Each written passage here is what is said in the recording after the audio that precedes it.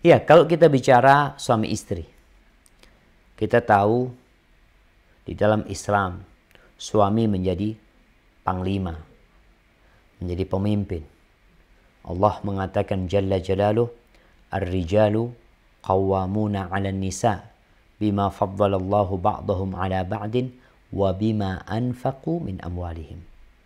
Lelaki-lelaki adalah pemimpin, pengawas, pengatur bagi para wanita karena apa? Karena Allah mengutamakan dia atas wanita dan dia punya kewajiban memberikan nafkah. Jadi kewajiban memberikan nafkah adalah kewajiban suami.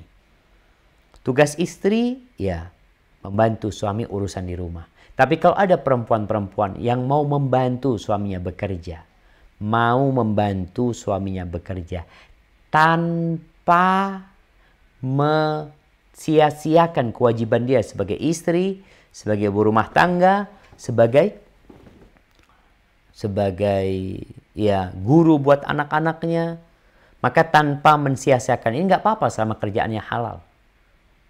Karena jangan sampai perempuan ini bekerja cari uang tahu-tahu anaknya tugas inti dia dia sia-siakan.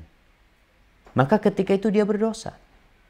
Dan bagi wanita yang membantu suaminya bekerja maka insya Allah hasil uang yang dia berikan kepada suaminya itu jadi sodakoh.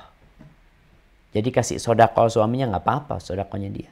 Yang diberikan kepada suaminya akan dapat pahala sodakoh bagi para wanita. Namun nasihat ana jangan sampai ambisi di sini lagi. Visi dan misinya. Untuk apa engkau bekerja?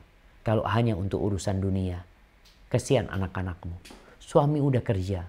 Karena kadang-kala ada suami kerja, istri kerja, Dua-duanya visi misinya dunia, anak-anaknya terlantar. Anak-anaknya tidak terawat. Mungkin secara fisik sehat, tapi secara psikis, secara mental dia bermasalah. Dia nggak kenal sama Allah SWT. Yang dia kenal cuma handphone. Ketika dikasih handphone dia tenang. Selesai buat dia itu. Maka buat wanita yang mau bekerja, tolong jangan sampai menelantarkan kewajibannya.